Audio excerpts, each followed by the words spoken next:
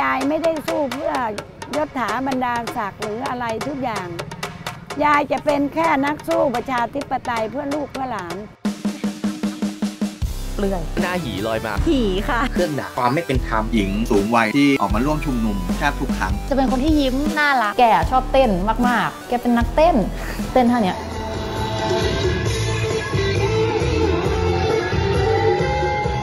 ชื่อยายเป้า อายุ 67ค้าขายค่ะยายเป้ารับแต่ความถูกต้องนะคะ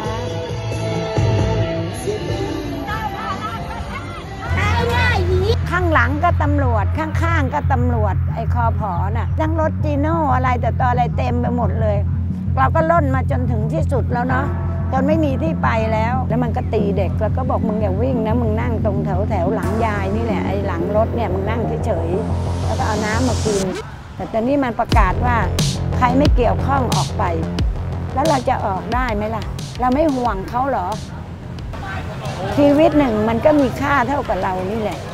ถ้าเกิดเขาโดนตีโดนอะไรไปเขาก็เจ็บใช่ไหมเพราะว่าพวกนี้มันไม่ปล่อยหรอก แล้วก็ไหนจะโดนคดีอีกโดนจับอีกยายก็ทำตลกไปอย่างนั้นแหละ มันจะได้ดึงดึงพวกมันออกมาได้ ก็นี่แหละมันสันติที่สุดแล้วไม่อาย ยายก็ถือว่ายายแก่แล้ว ยายทำเพื่อลูกเพื่อหลานเนาะ แต่อย่างนั้นมันก็ตึงมันก็เครียดกันอยู่อย่างนั้นใช่ไหมเพราะว่าเด็กมันก็หัวร้อนเหมือนเราอะเฮียตีกันนี่มันยังไงกูตายก็ตายยอมตายกันไปข้างหนึ่งอะพอตีแล้วก็มาเจ็บมีอะไรแล้วมันก็เลิกกันเนี่ยนะไม่เห็นมีอะไรดีขึ้นเลย ทุกครั้งที่ป้าเป้าไปด่านหน้า เขาไปเพราะเขาปกป้องใครสักคนหนึ่งหรือเขาไป เพราะว่าเขาเรียกร้องสิทธิ์ ให้ใครสักคนหนึ่งอันนี้คือสิ่งที่เราเห็นมาตลอด ด้วยกิริยาท่าทางการใช้ภาษาไอ้วอร์ดดิ้งพวกนั้นอะคือมันมันเป็นคำที่เราเราใช้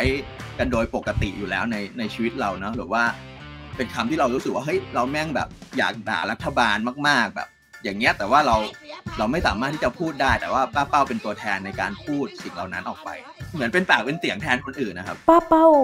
ต่อสู้กับเผด็จการ อย่างเข้มแข็งอย่างไม่สยบยอม แต่ป้าเป้าอ่อนน้อม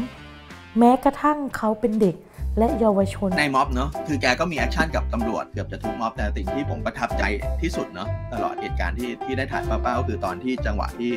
ได้ไปสัมภาษณ์แกที่บ้านเนาะแบบเป็นภาพแกอุ้มหมาเล่นกับหมาอะไรเงี้ยเป็นภาพถ่ายแบบยิ้มยิ้มๆที่บ้านอะไรเงี้ยเพราะเรารู้ก็รู้สึกว่าเออมันก็เป็นป้าเป้าอีกมุมหนึ่งที่แตกต่างจากภาพจำของคนอื่นแล้วก็เต้นท่าเนี้ย ได้เป็นภาพภาพแบบภาพเหมือนชูมือขึ้นมาพอดี แล้วก็มีคนมาแบบมาทักว่า เอ้ย ภาพนี้มันเหมือนภาพวาดจิตรกรรมภาพหนึ่งเลยที่เป็นแบบผู้หญิงถือธงขึ้นมา Liberty leading the people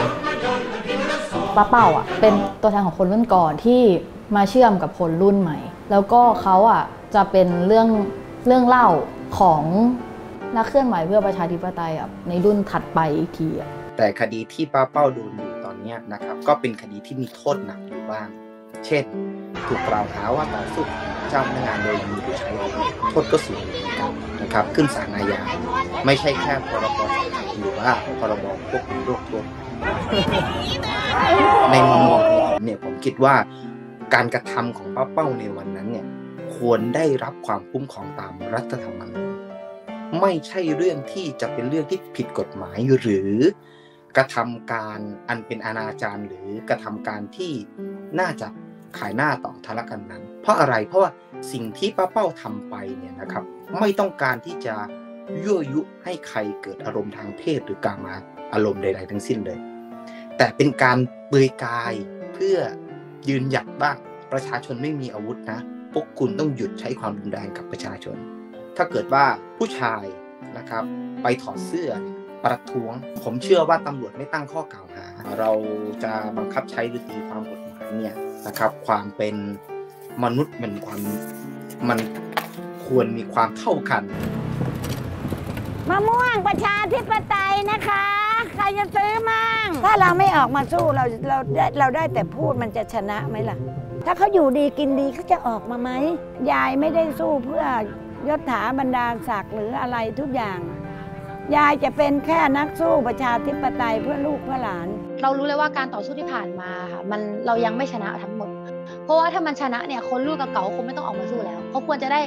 นอนพักอยู่ที่บ้านนะคะ สิ่งที่ป้าเป้าได้รางวัลบุคคลแห่งปีอะมันไม่ใช่การชื่นชมที่มีให้เฉพาะป้าเป้า แต่มันหมายถึงการส่งกำลังใจให้กับ คนรากหญ้าที่ลุกขึ้นส่งเสียงโดยที่เขาไม่เคยมีสิทธิ์มีเสียงเลยป้าเป้าก็ยังเป็นป้าเป้าที่หนึ่งในใจ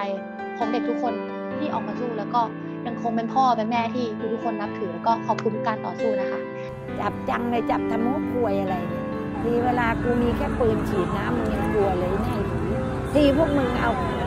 เอาทั้งแก๊สน้ำตา เอาทั้งกระสุนยางไอสัตว์มึงมึงไม่กลัวกูเจ็บมั่งเป้าระวังเป้าเป้าระวัง